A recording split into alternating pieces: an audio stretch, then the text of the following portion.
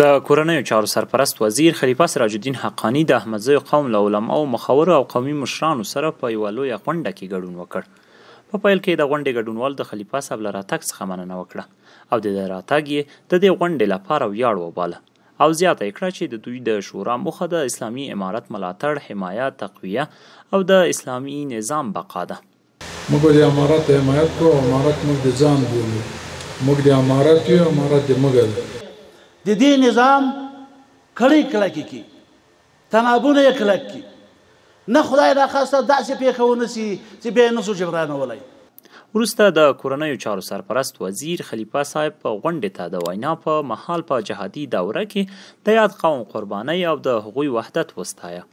او زیاته یې کړه چې پخوا دلته قومي جوړښتونه وو خو پردۍ برنامې یې پلې کولې او د وحدت د له منځه وړلو لپاره ورڅخه د افغانستان دښمنانو کار اخیست.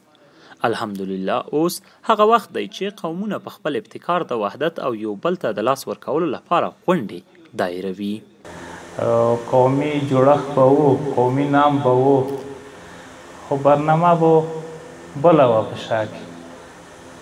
او نن د خوشحالۍ ځای دغه دی چې د تاسو په انتخاب، د تاسو په ابتکار، د تاسو په مېړانه غونډې جوړېږي او یو بل ته د همکارۍ او د ډاډ لاس ورکولی کېږي. دا اعزاز خدای پاک تاسو ته دربښلی دی.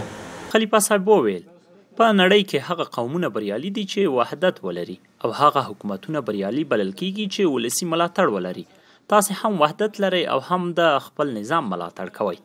تاسې په علمي، اقتصادي او سیاسي میدانونو کې کدرونه لرئ. کله چې نظام ستاسې ملاتړ ولري نو د چا رسمیت ته اړتیا نه لري.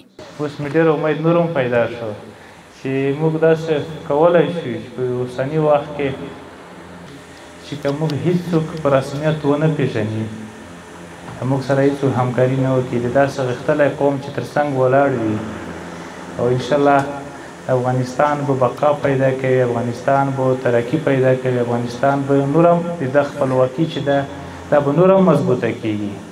خلیفه صاحب زیاته کړه. نظام هلته محکم کېږي چې د ټولنې افراد یو بل برداشت کړي او ملي ګټو ته په شخصي ګټو لومړیتوب ورکول شي.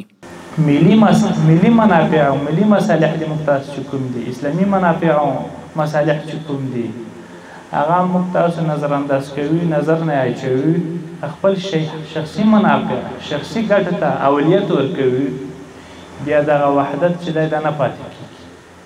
اختلافات او مشکلات چې کوم دي چې موږ د اعتماد کلب ته اچوي داسې غونډې جوړوي لکه نن چې زه تا برداشت کولای شم ته ما برداشت کولای شې په تېره یې سره تېرېږي یو روښانه مستقبل جوړوي دا د اعتماد میدان مې چې جوړ کو بیا زه په تا باندې درون نه تمامېږم ته په ما درون نه تمامېږم. په وروستیو کې خلیفه صاحب زیاته کړه، ستاسې نظام له ډېرو اجتماعي امورو سره مخ دی، هڅه وکړئ په خپل ابتکار په ټولو ډګرونو کې مخ ته ولاړ شئ او بل ځل چې راځو نو د داسې پروژو پرانیسته وکړو چې ستاسو په ابتکار پیل کیږي.